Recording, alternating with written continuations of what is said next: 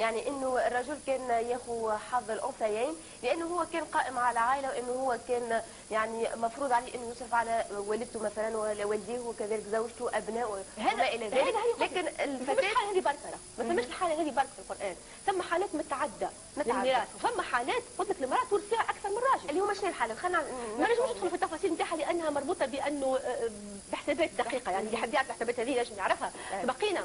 ثم حالات انه المرأة البو لدرجه انه المفسرين تقلقوا.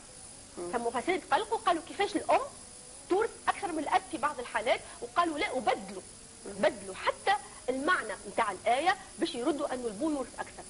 ما تنسيش اللي ثم بيئة ذكورية رجالية. وما زالت متطوره ما زالت متطوره إيه يا شيخ؟ إيه يا شيخ؟ إيه بقى يا شيخ؟ ربنا يهد المفتري يا شيخ.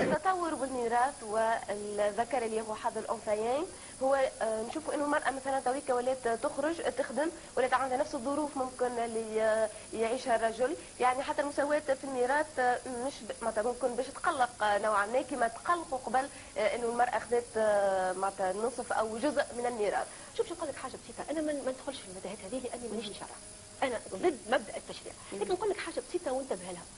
المجتمع باش يفرض بطريقة شرعية انه المرأة والراجل ياخذوا قد قد كيفاش؟ يا شيخة ده أنت لما تك... خليكي محضر خير. خليكي محضر خير يا ولية ده أنت هتدخلي النار راكبة صاروخ فضاء من عمايلك.